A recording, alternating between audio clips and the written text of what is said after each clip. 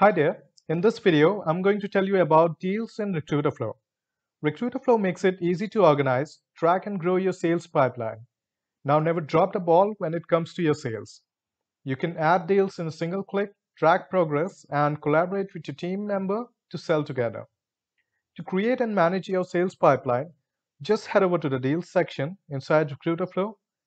A default sales pipeline is automatically generated for you but you can always take control of this pipeline and personalize it the way you want. Just make sure to add a deal won and deal lost stage, as in the end, a business opportunity is either won or lost.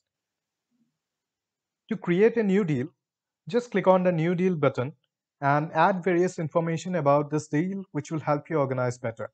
Start by providing the deal name, add the deal value, add the close date, assign the deal owner, associate deal with a company and hit create.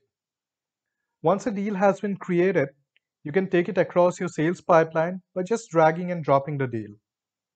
You can always click on the deal name to take more actions.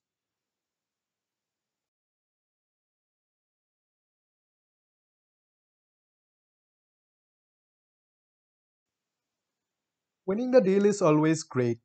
Just move the deal to close won and specify the reason. After all, you should know why you're winning. And no problem, if you lost a deal, just move the deal to close loss and record the reasons where you need to work more. Sales is about being more efficient. Our Recruiterflow helps you do that.